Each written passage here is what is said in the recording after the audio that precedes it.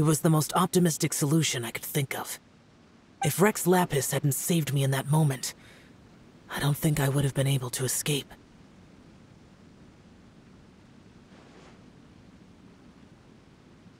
In the end, I still had to burden another. But that's how it should be, right? You've known Zhang Li, uh, Rex Lapis, for such a long time.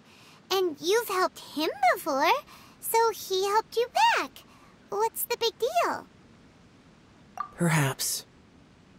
In the moment that we escaped from that space, I could sense what was left of Bosacius's memory. If I had to say what I gained from this trip, I think that would be it.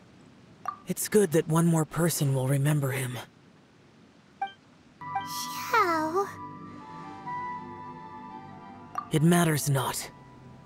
Rex Lapis had said that you are a witness. It is right that the events of the world are relayed to you. Bonanus, Menogias, and Indarias all perished, and only Bosacius's fate was unknown. This has always stung my heart like a thorn. That is why I went to the chasm, despite being fully aware of the danger.